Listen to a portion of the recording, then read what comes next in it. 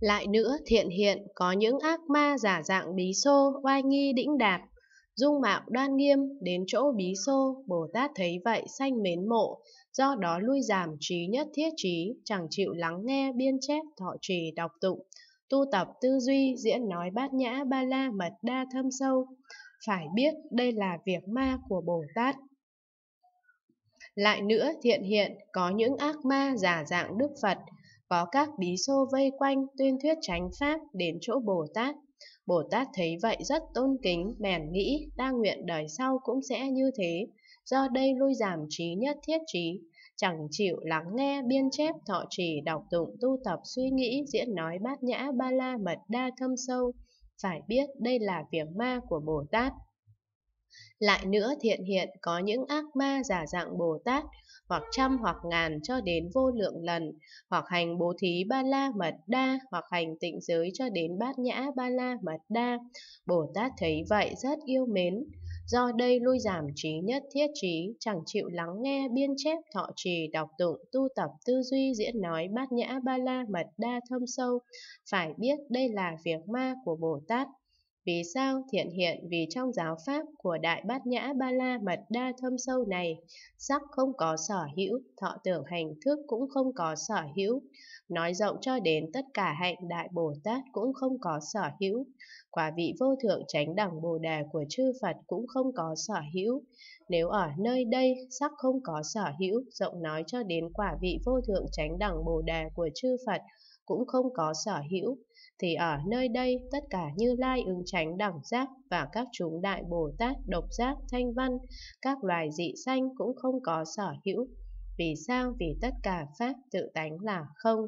Lại nữa thiện hiện các thiện nam tử vân vân an chủ đại thừa khi lắng nghe biên chép thọ trì đọc tụng tu tập tư duy vì người thuyết giảng kinh đại bát nhã ba la mật đa thâm sâu này có nhiều sự cản trở chống đối phá hoại khỏi lên làm cho việc làm của người phước mỏng chẳng được thành tựu. Như ở châu thiệm bộ có nhiều ngọc báu như ngọc phệ lưu ly cho đến vàng vân vân, có nhiều giặc cướp cản trở phá hoại, những người phước mỏng cầu không thể được.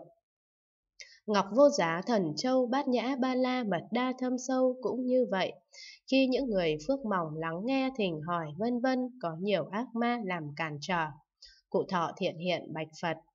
Bạch Thế Tôn đúng vậy, Bạch Thiện Thệ đúng vậy, Bát Nhã Ba La Mật Đa thâm sâu như các thứ ngọc quý, phệ lưu ly vân vân ở châu thiện bộ, có nhiều hiểm nạn cản trở, những người phước mỏng cầu chẳng thể được, các thiện nam tử vân vân an chủ đại thừa, vì ít phước đức nên khi lắng nghe vân vân có nhiều hiểm nạn cản trở,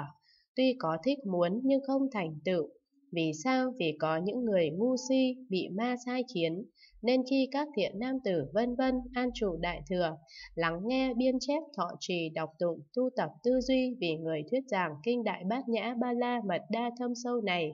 là người ấy bị cản trở Bạch Thế Tôn kẻ ngu si kia trí tuệ lu mờ không thể suy nghĩ về Phật Pháp rộng lớn, nên đối với bát nhã ba la mật đa không thể lắng nghe biên chép thọ trì đọc tụng tu tập tư duy diễn thuyết được, mà trái lại muốn cản trở việc biên chép vân vân của người khác. Phật dạy thiện hiện đúng vậy, đúng vậy, đúng như lời ông nói. Có những người ngu si bị ma sai khiến, vì chưa trồng thiện căn phước tuệ mỏng cạn, chưa ở chỗ Phật phát thệ nguyện lớn, chưa được bạn lành hộ trì. Đối với bát nhã ba la mật đa tự thân không thể lắng nghe cho đến diễn thuyết được. Các thiện nam tử vân vân mới học đại thừa khi lắng nghe biên chép cho đến diễn thuyết kinh đại bát nhã ba la mật đa thâm sâu này sẽ bị cản trở. Ở đời vị lai có những thiện nam tử, thiện nữ vân vân. Phước tuệ cạn mỏng, căn lành quá ít nên đối với công đức rộng lớn của Như Lai, tâm chẳng vui thích, Đối với bát nhã ba la mật đa tự thân không thể lắng nghe cho đến diễn thuyết, trái lại muốn ngăn cản việc lắng nghe vân vân của người khác, phải biết những hạng người này mắc tội vô lượng. Lại nữa thiện hiện, có những thiện nam tử vân vân an trụ đại thừa, khi lắng nghe biên chép thọ trì đọc tụng tu tập tư duy vì người thuyết giảng kinh đại bát nhã ba la mật đa thâm sâu này, có nhiều việc ma làm cản trở, khiến cho việc lắng nghe vân vân không được thành tựu, do đây không thể viên mãn bát nhã cho đến bố thí ba la mật đa. nói rộng cho đến không thể viên mãn trí nhất thiết tướng.